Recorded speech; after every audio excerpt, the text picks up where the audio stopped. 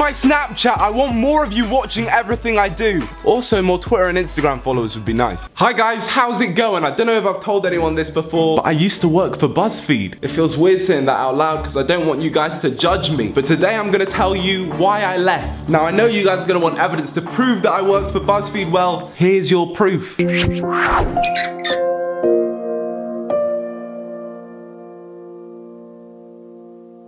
When people first glance at me, I mean, the first thing they see is a white guy, and usually I'll have to end up explaining to people that I am half Mexican and half white. People call me Indian all the time. Nikolas Ominan bread.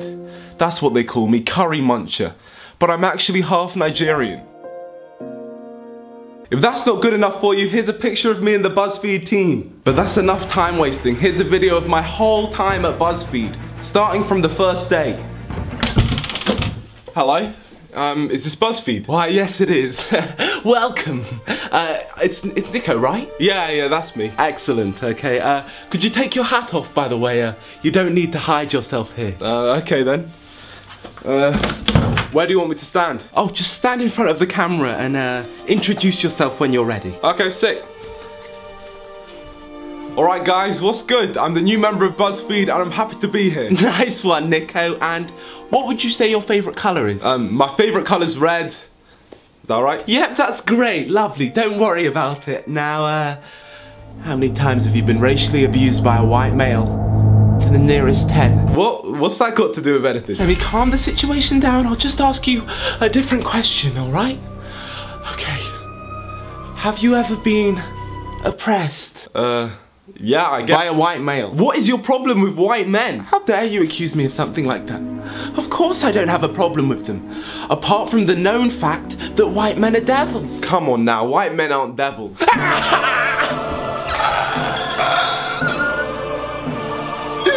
He's disagreed with me. He's disagreed with my opinion. Oppressor, just take him away. What is wrong with you? I'm not going anywhere. I'm not gonna- oh. Come here, you sexist pig! Get out!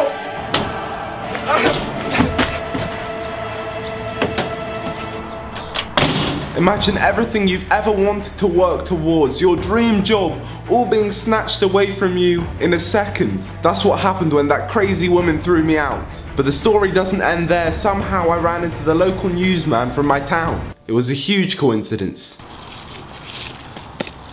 Niko, what's wrong with you, man? I mean, why are you crying? What's happened? It's nothing, but I just didn't do anything wrong and I'm being told I'm an oppressor. Oh, don't worry about it, Niko. That woman in there, she can be a little crazy towards us men. Just ignore it. It's just sad because it was my dream to work for BuzzFeed and now I've been thrown out. Well, Niko, lucky for you, I work for BuzzFeed News and these are our offices. We just do our filming in that green room there. How about you come join us? Yeah, of course. Thank you. That would be sick. BuzzFeed News with me, Anthony McGiles. Hello and welcome to BuzzFeed News. Today we're here with Charles McHaves, the Army veteran. Alright guys, happy to be here. Perfect then. Charles, what's it like to have no legs? well, it happened while serving our country. A little girl was standing on a bomb and I saved her life, but it cost me my legs. It looks like your privilege couldn't save you there. what are you doing? That's messed up. He saved the little girl and you're mocking him. I thought you were different. Niko, come on, I am different. But he is a straight white male. Everyone knows there's no exception for that. They oppress us. No excuses. Actually, I campaign against oppression. And I'm a feminist vegan. And I stand up for racial profile. How can you say you stand up when you don't have legs? What's this? I mean, there's nothing there. I know what you are, and your skin shows it. Come on, Niko, agree with me. You're just as bad as the rest of them.